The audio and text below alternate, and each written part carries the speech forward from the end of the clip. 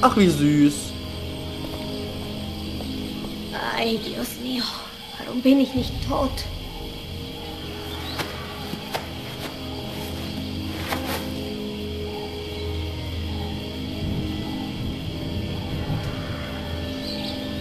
Sie haben mich zurückgelassen. Idiotas. Nima ist also wieder erwacht und Billy scheint weg zu sein oder zumindest hat er sich verkrochen, um irgendwas zu schauen wahrscheinlich. Dann gucken wir uns das Wrack nochmal an. Zumindest hat mich einer von denen da rausgeholt. Weiß nicht, ob ich dasselbe getan hätte. Freundlich, freundlich. Okay, haben wir sonst noch was? Ich war wohl eine Weile bewusstlos. Die Embryos müssten erstmal sicher sein.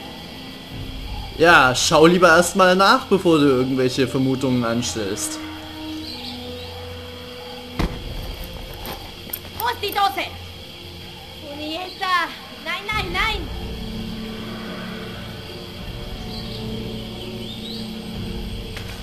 Suchen Sie das hier?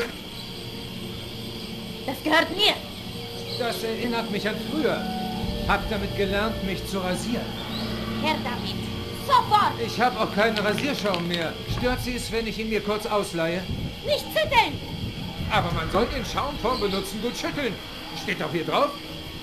Verraten Sie mir, warum der Rasierschaum so wichtig ist? Oder muss ich Ingen fragen? Tja, Billy ist dahinter gekommen und jetzt hat Nima ein kleines Problem. Die Dose gehörte meinem Geliebten. Er fiel im Kampf für die chilenische Revolution. Ich habe sonst nichts von ihm. Bitte geben Sie sie zurück. Wie süß. Ich fasse zusammen. Ihr marxistischer Revoluzerfreund hat es zu seiner obersten Priorität erklärt, sein Gesicht seidig glatt zu halten. Muss ein sehr sensibler Typ gewesen sein. Ich bin nicht blöd, Lady. Noch einen Versuch? Schön, fand ich gut. Embryos. Das sind Dinosaurier-Embryos. Sie sterben, wenn Sie sie fallen lassen. Hören Sie, Joder. Bill, vielleicht können wir einen Deal. Klingt interessant. Reden Sie. Okay, jetzt hat Nima den Kurs gewechselt, ist wahrscheinlich auch ihre einzige Möglichkeit, da irgendwie noch rauszukommen mit der Dose. Bitte! Ich erwarte nicht, dass Sie mir vertrauen, aber Sie sollten sie mir einfach zurückgeben und mich gehen lassen. Ich habe eine Tochter. Ich brauche Geld, um sie aus dem Ghetto zu holen. Sie wissen, wie es Mädchen dort geht. Sie verdient ein besseres Leben. Im Ernst? Okay, reden Sie weiter. Und damit, das war tatsächlich keine Lüge, das ist tatsächlich der Beweggrund, warum Nima hier ist und das tut, was sie tut. Sie hasst Ingen nämlich eigentlich. Und gut, sie kann Ingen damit schaden, das zu klauen und hier Betriebsspionage zu machen. Aber hauptsächlich geht es ihr darum, dass sie Geld braucht, um ihre Tochter aus dem Ghetto zu holen. Und deswegen ist sie so scharf darauf, immer die Dose zu behalten.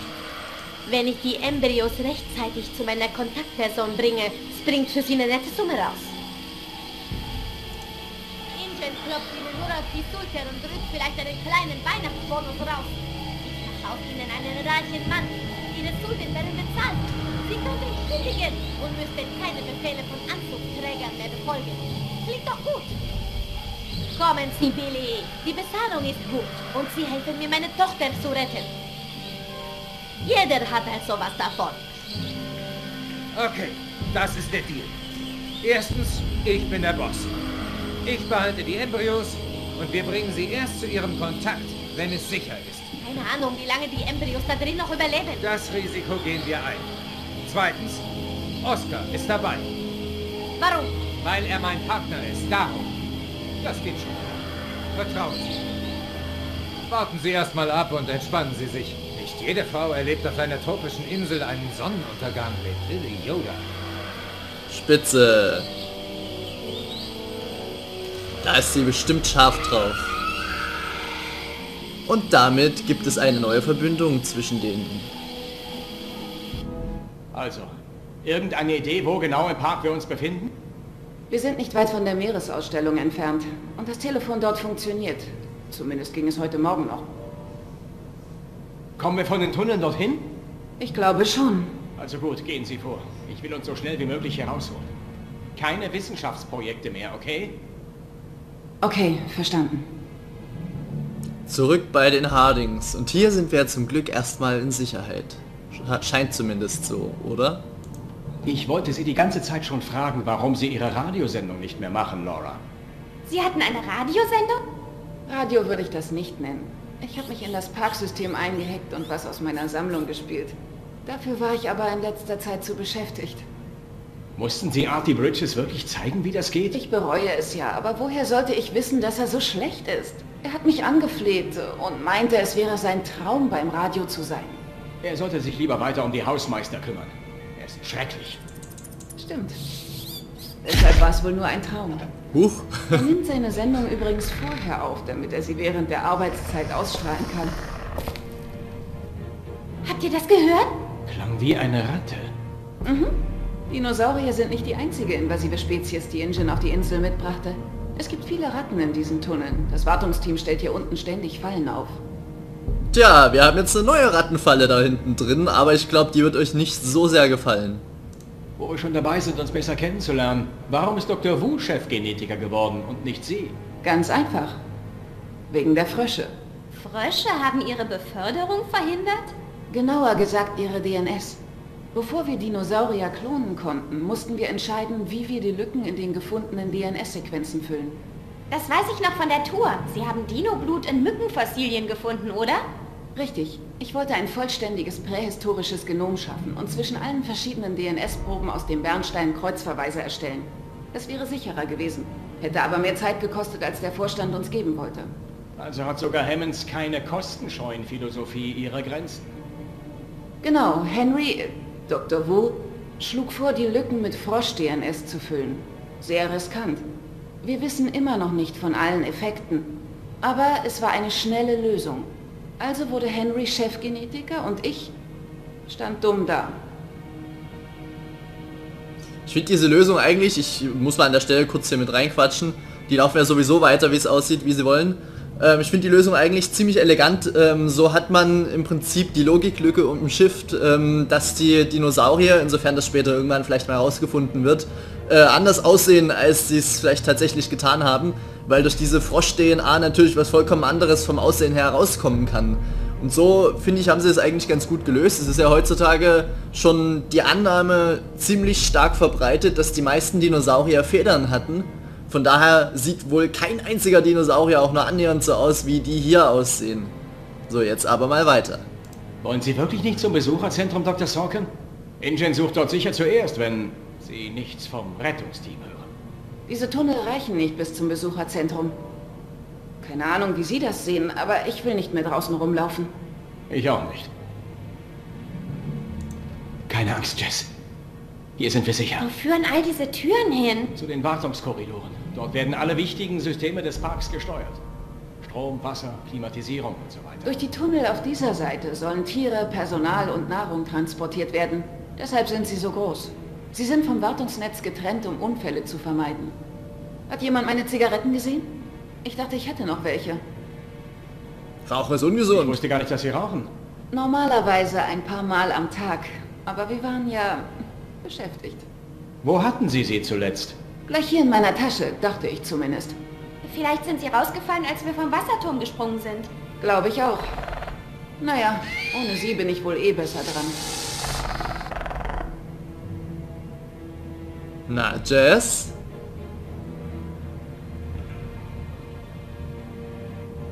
Ja, was haben wir denn da? Können wir kurz anhalten? Meine Beine bringen mich um. Schätze, wir könnten alle eine Pause brauchen. Und damit wieder Wie lange zurück. die Embryos noch überleben. Wir müssen meinen Kontakt am Boot treffen. Wir bleiben hier, bis Oskar zurück ist. Wir wissen doch nicht mal, ob er noch lebt. Oskar geht's gut. Er kommt schon zurück. Und wir werden bleiben, egal was passiert. Egal, was passiert?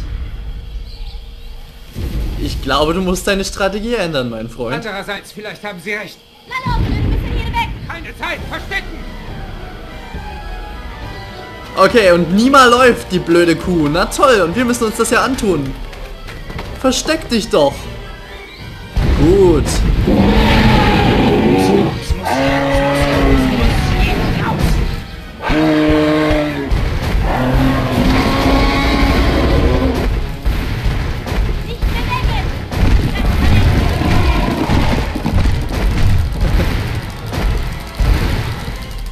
Na, spitze. Lass mich in Ruhe, du Blödes. Na, komm schon, komm schon, komm schon. Ach, wieso wackelt das denn so extrem? Das wollte ja gerade überhaupt nicht funktionieren mit dem Hin- und Hergehen. Oh shit. Billy!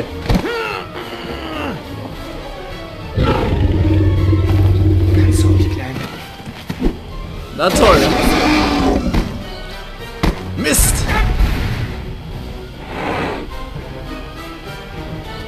Oh shit. Ich hab's total verkackt gerade.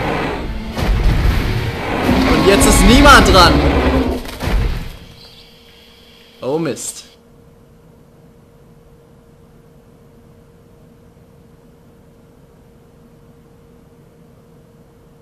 Na Jess? Wie sieht's aus? Ihr werdet beobachtet. Ein bisschen vom Lysin-Präparat gefällig? Nein, danke. Wissen Sie was? Warum nicht? Nach dem ganzen Gerenne können Proteine meinen Muskeln wahrscheinlich nur gut tun. Das dachte ich mir auch. Ich habe mich schon seit Karneval nicht mehr so viel bewegt. Jetzt, wo die Parasaurier kein zusätzliches Lysin mehr brauchen, müsste ja ziemlich viel übrig sein. Was das angeht, nicht nur die Parasaurier. Wir haben das Gegenmittel in die Hauptwasserversorgung gegeben. Aber so erreicht es jeden Dinosaurier im Park. Die Lysin-Kontingenz. Oh Mist. Nochmal eine Sache zu diesem Lysin. Ähm, ich dachte eigentlich, dass sie ein Gegenmittel hergestellt hätte, um die Dinosaurier unabhängig zu machen von dem Lysin. Was ich nicht so ganz verstanden hätte, denn das hätte ja bedeutet, sie hätte irgendein Mittel herstellen müssen, das eine sofortige Mutation bei sämtlichen Dinosauriern auslöst, die diesen Gendefekt äh, löst. Aber offenbar haben die einfach nur extrem viel Lysin in sämtliches Trinkwasser gekippt. Und dass das jetzt überall in, auf der ganzen Insel ist, bedeutet natürlich, dass alle Dinosaurier überleben, auf lange Sicht gesehen. Und was ich mich aber auch frage ist, wie hat es der T-Rex in das sichere Gebiet reingeschafft? Angeblich sollte es doch sicher sein, abgesehen von den paar Velociraptoren, die dort gehalten wurden in dem kleinen Gehege. Fragen über Fragen. Sie sind verrückt. Den Dinosauriern Lysin zu entziehen, war der einzige Sicherheitsmechanismus, der sie aus dem globalen Ökosystem fernhielt. Ja, 100, ja 120 Meilen mehr reichen nicht, genau. Muss ich Sie daran erinnern, dass 120 Meilen mehr die Isla Nublar vom Festland trennen? Die Lysin-Kontingenz war grausam und unnötig. Sind Sie absolut sicher, dass keines dieser Tiere schwimmen kann? Ich bitte Sie, Jerry. So sind die asiatischen Elefanten von Sri Lanka nach Indien gekommen. Sowas ist schon mal passiert. Das ist doch lächerlich. Es gibt keinen Beweis dafür, dass Sauropoden schwimmen konnten. Keinen. Das könnte man ja überprüfen, indem man einfach mal ein Gehege mit Wasserbecken ansetzt und dann mal schaut, ob sie schwimmen gehen oder nicht. Ja, die Sache ist aber, wir laufen gerade zur Meeresausstellung, möchte ich nur so anmerken. Und Meer ist normalerweise Wasser. Von daher, hm, vielleicht ist da doch irgendwas, das schwimmen kann. Sie sehen sie doch jeden Tag. Haben Sie jemals erlebt, dass einer der Dinosaurier schwimmen wollte? Wir halten sie in Käfigen, Laura. Sie haben also gar keine Gelegenheit. Aber sicher können mehr Vierbeiner schwimmen als nicht schwimmen. Okay, ich gebe zu, dass einige Sauropoden eventuell schwimmen können. Aber ich glaube trotzdem, dass 120 Meilen offenes Wasser eine wirksame Barriere sind. Das stimmt allerdings. Ich glaube, kein einziges Tier sollte es schaffen, 120 Meilen zu schwimmen. Das sind ja noch ein paar Kilometer mehr als bloß 120. Also da sind wir über 200 Kilometer, denke ich mal. Das sollte eigentlich genug sein. Das stimmt schon. Die geringe Möglichkeit, dass ein Dinosaurier zum Festland schwimmt, ist nichtig angesichts unserer Verantwortung, diese Tiere menschlich zu behandeln. Sie sind unseretwegen hier. Okay, tja, die Sache ist bloß, wenn jetzt alles austickt hier, dann werden am Ende eh bloß die Fleischfresser überleben. Ich will nicht, dass diese Tiere sterben. Wirklich nicht. Aber wir alle haben der Lysin-Kontingenz zugestimmt. Das war eine Voraussetzung für die Arbeit. Für Sie vielleicht. Aber Sie dürfen nicht vergessen, dass ich schon hier war, bevor von der Lysin-Kontingenz überhaupt die Rede war. Und wir kriegen langsam mit, was das Problem mit Laura Sorkin ist, denn sie steht so extrem auf der Seite der Dinosaurier, dass sie ihnen ein komplettes Genom ermöglichen wollte, dass sie ähm, ihnen ein vernünftiges Leben einräumen will. Also sie will, setzt sich so sehr dafür ein, dass es den Sauriern gut geht, dass sie sich über sämtliche Regeln hinwegsetzt. Und das wird ein großes Problem mit ihr noch. Die Lysin-Kontingenz war Henry Wus Idee als Bewerbungshilfe für die Spitzenstelle. Und sie ist definitiv tödlich. Ich konnte ihn nicht aufhalten, aber ich war niemals damit einverstanden. Nicht eine Sekunde. Sie sind immer noch hier. Überlegen wir mal. Mein Lebenswerk fortführen? Oder zulassen, dass andere es korrumpieren, davon profitieren und mich daran hindern, jemals darüber zu sprechen? Habe ich eine Wahl? Nicht wirklich. Nein, eigentlich nicht. Sie glauben den Umständen und ihrer Herkunft zum Trotz doch nicht wirklich, dass es okay ist, eine Spezies auszurotten. Geschweige denn ganze Speziesgruppen. Niemand hat das Recht dazu. Aber auch niemand hat das Recht, sie wieder ins Leben zu rufen. Das ist, finde ich, ein großes Problem, das die Menschheit hat, dass sie nicht akzeptieren kann, dass Spezies auch mal aussterben können in der Natur. Natürlich hat der Mensch oft eingegriffen und viele Spezies ausgerottet, aber es kommt auch in der Natur ständig vor, dass Spezies aussterben und genauso entstehen neue Spezies. Und wenn die Dinosaurier ausgestorben sind, sollten sie auch ausgestorben bleiben. Es gibt einen Grund dafür, dass sie ausgestorben sind. Das kann so viel verändern auf der Erde, es kann das komplette Ökosystem äh, durcheinander bringen, wenn man solche Biester wieder freisetzt und immerhin hat man sie auch selbst wieder in die Welt gesetzt, dann sollte es ihnen auch, wenn man schon einmal Gott gespielt hat, warum ist es dann so abwegig, dass man weiterhin Gott spielt und sie daran hindert, sich fortzupflanzen und freizusetzen? Natürlich würde ich Ihnen recht geben. Niemandem steht es zu, eine gesamte Spezies zu töten. Aber Sie geben doch zu, dass das hier ein Sonderfall ist. Wir sind verantwortlich. Ja, wir sind verantwortlich. Nicht nur für unser eigenes Wohl, sondern auch für das der Tiere. Ich weiß nicht, Laura. Ich, ich muss das erstmal verarbeiten. Ich muss es Ingen sagen. Das verstehe ich. Seid ihr bald fertig? Jess, wo warst du? Ich wollte gerade fragen, wo sie war Gang eigentlich. runter. Ihr habt doch eh nicht gemerkt, dass ich weg war. Ich kann es mir aber Schatz, denken. Ich war abgelenkt. Aber mach das nicht nochmal, okay? Klar, okay. Ich kann mir denken, wo sie war.